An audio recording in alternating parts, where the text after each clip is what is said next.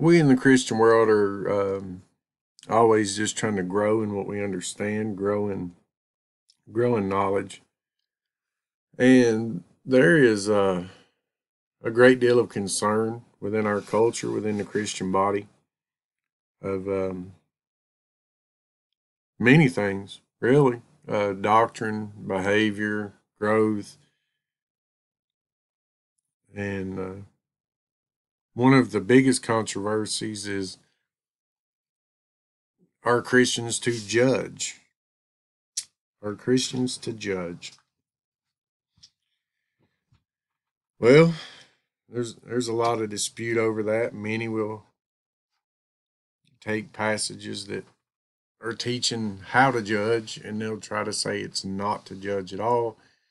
But the Bible has a ton to say about the need for Christians to discern good from evil, right from wrong.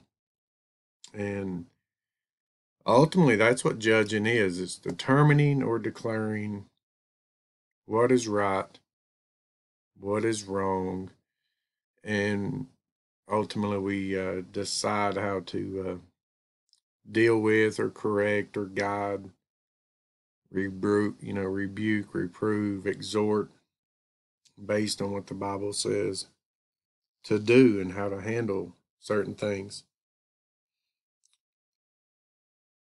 The Bible does not teach us to not judge.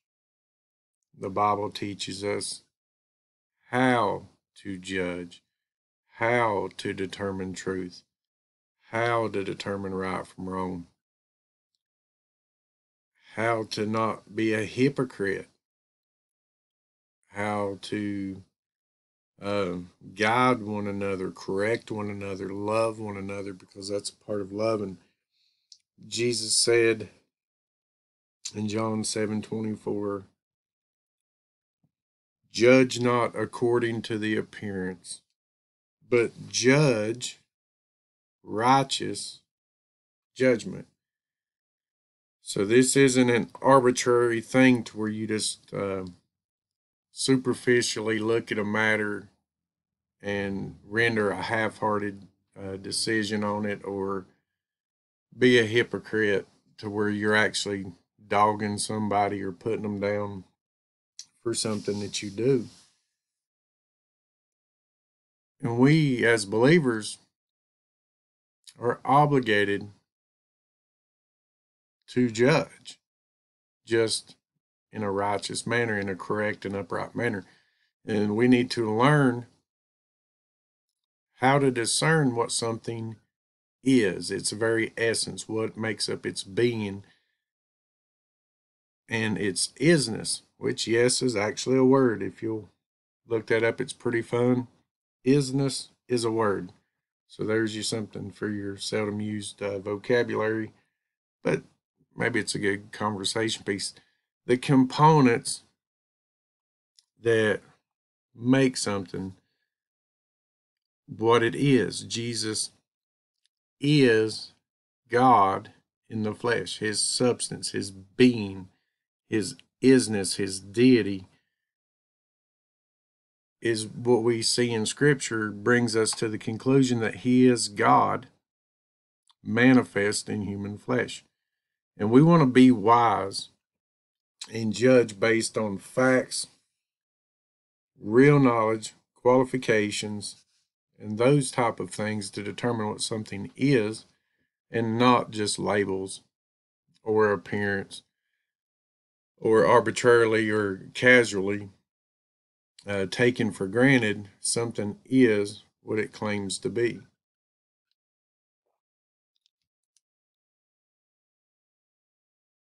Someone, for instance,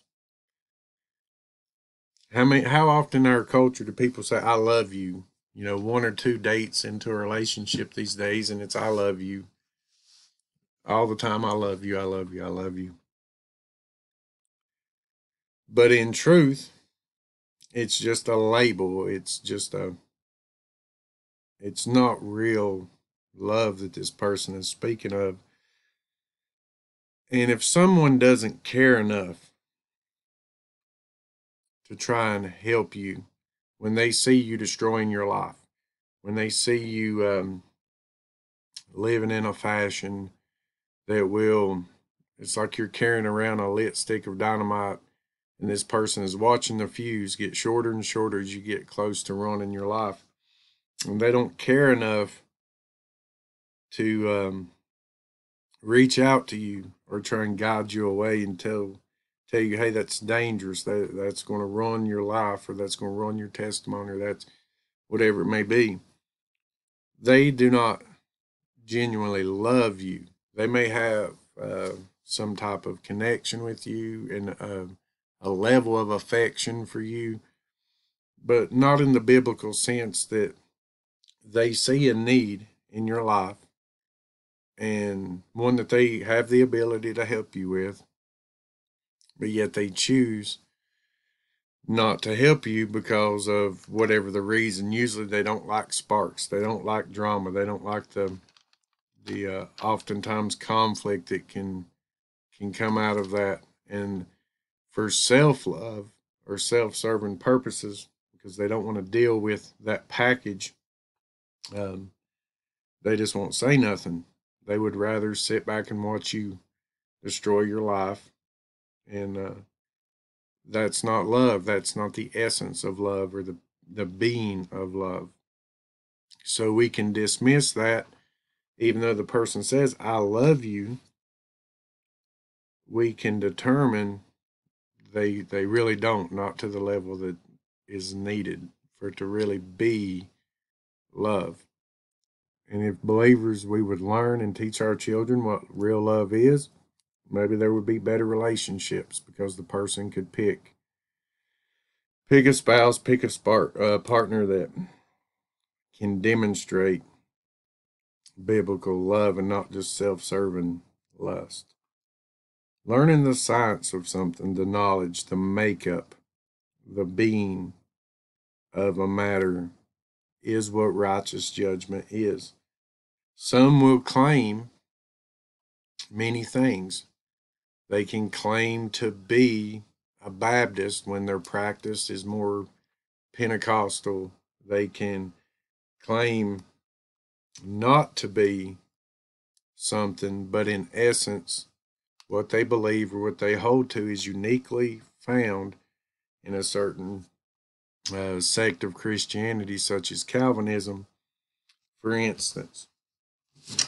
When we put under a microscope this doctrine of the, the perseverance of the saints, that Gnostically and unseemly, God does the believing for a person, the trusting for a person, and regenerates them prior to them actually believing. They come to the conclusion because of that, the person will persevere in this uh, mystical type of trust, this mystical faith that God is doing for them. And therefore, they will always have perfect faith. They will always have good works. They will always have this because God is doing this for them. That's the Calvinistic belief.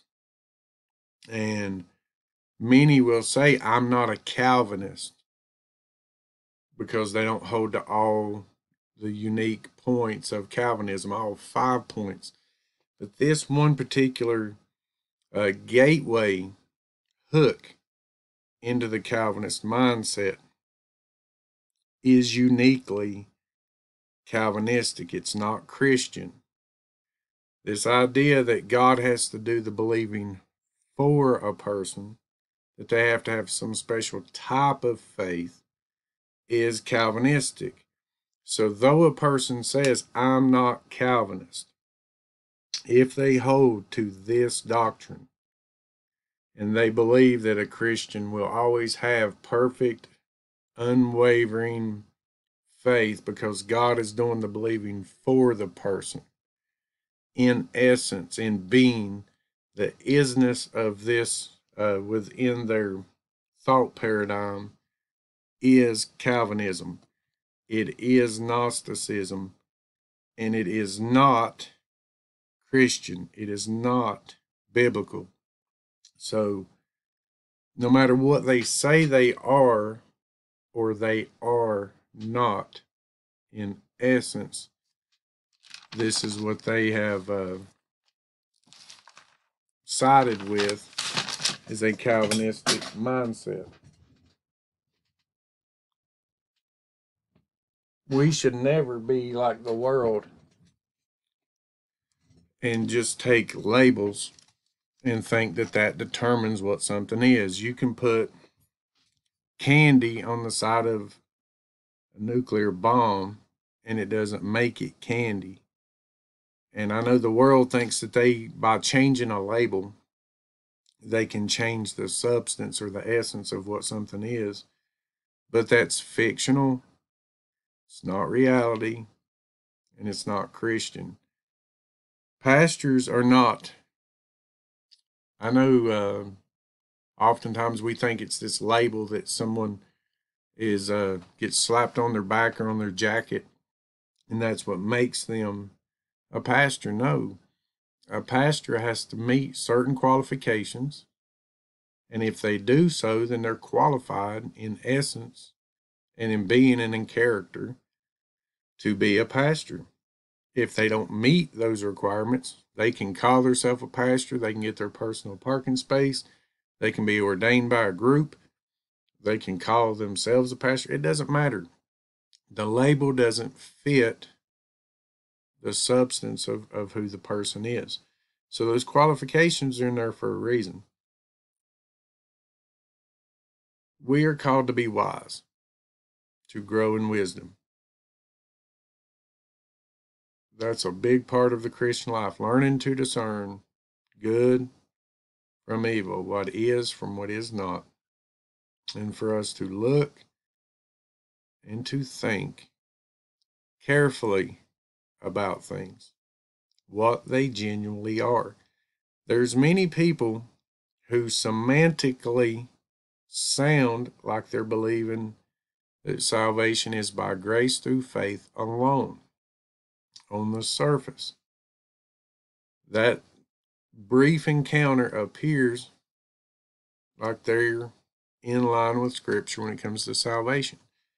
But when you dig deeper and you find out what they're genuinely trusting in, you will oftentimes see that it is a unique feeling, a special type of faith they think they have, in performance in holiness in some type of work.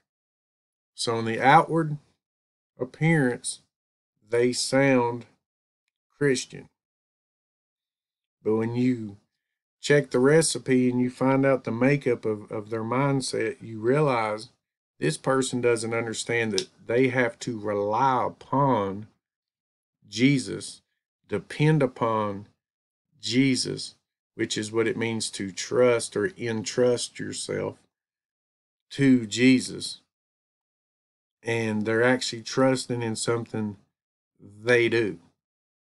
Now, on the flip side, semantically, there's those that have difficulty, or maybe they've been taught a certain way to speak, and they have difficulty relaying that, hey, I am trusting in Jesus alone with no confidence in myself and I have entrusted or trusted in Jesus for my destiny, for the forgiveness of my sins and the hope of the resurrection in my future.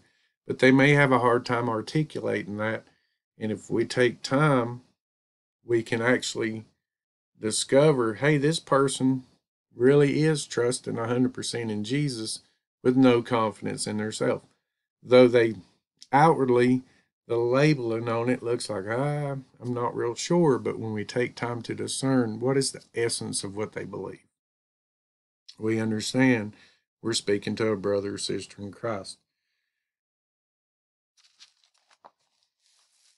Some say a lot of things. Some will say they're sick. Well, in essence, they're not. They're, they don't have a temperature. They don't feel bad.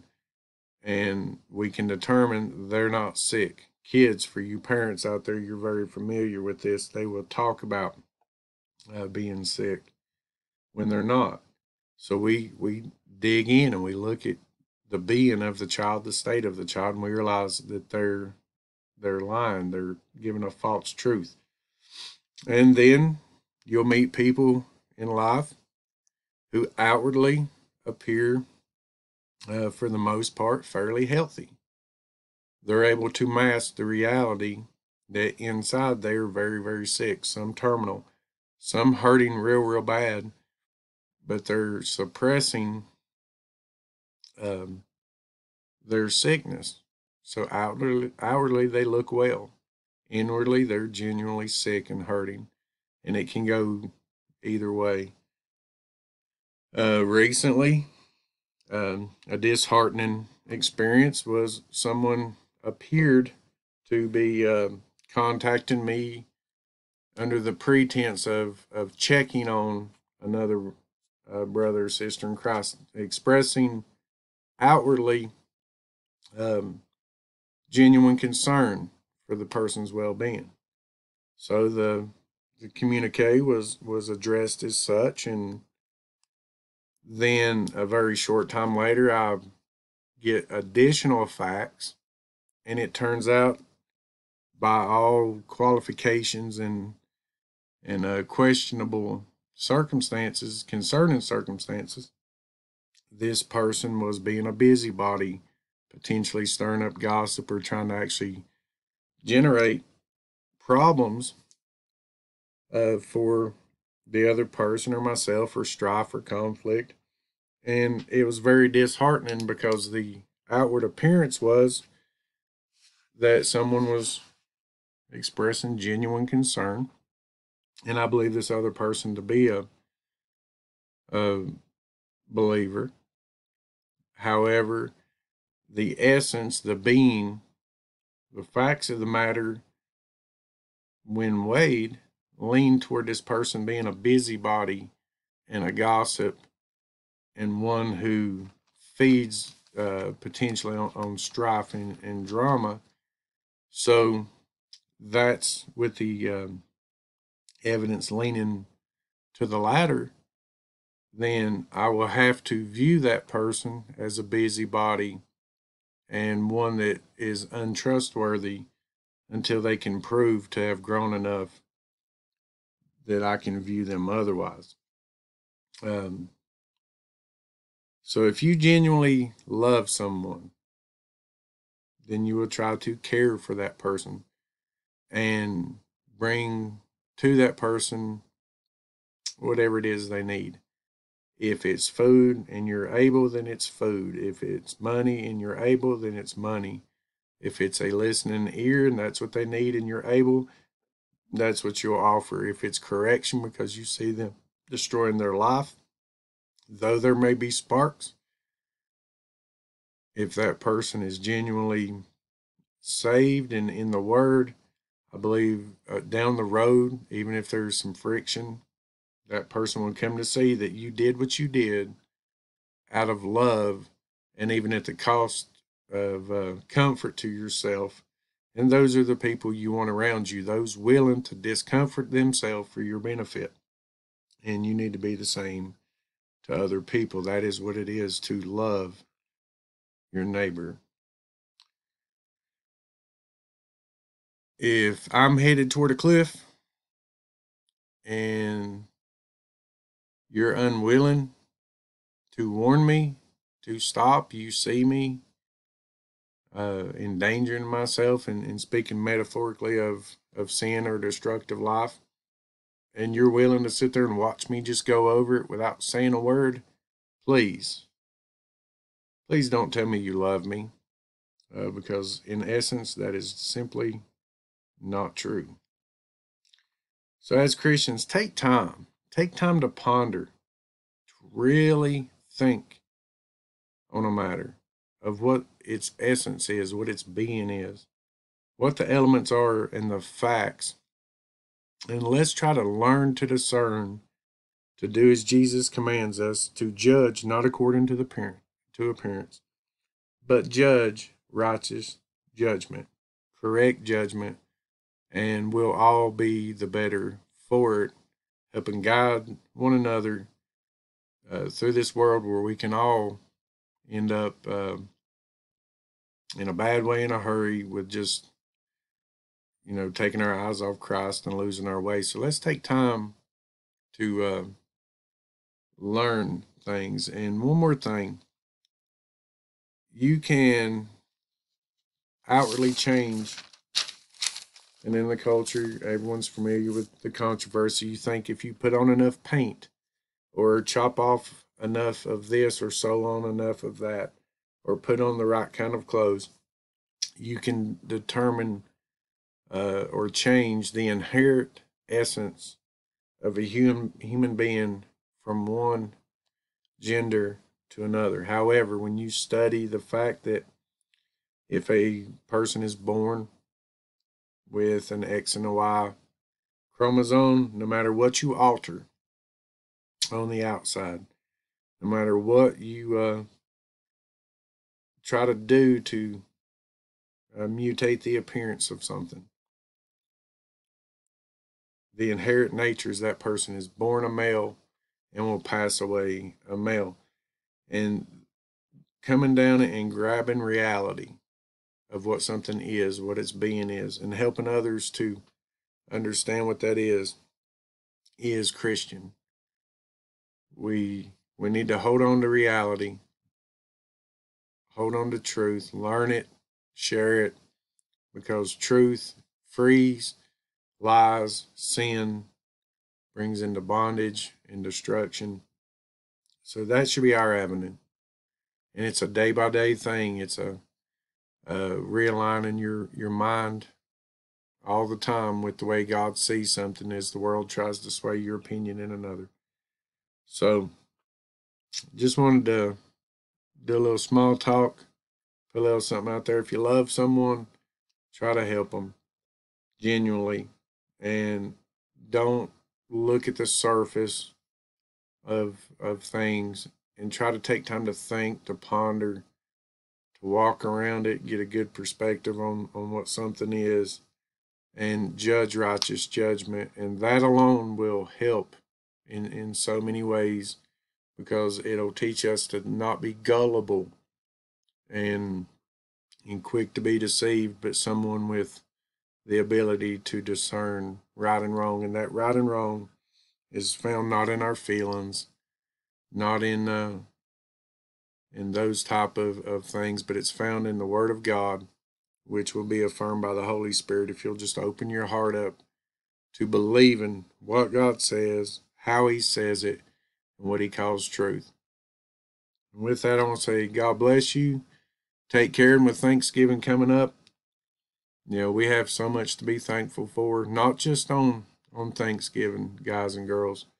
We have much to be thankful for every single day. So let's focus on those things because in all essence, in all being, God is awesome.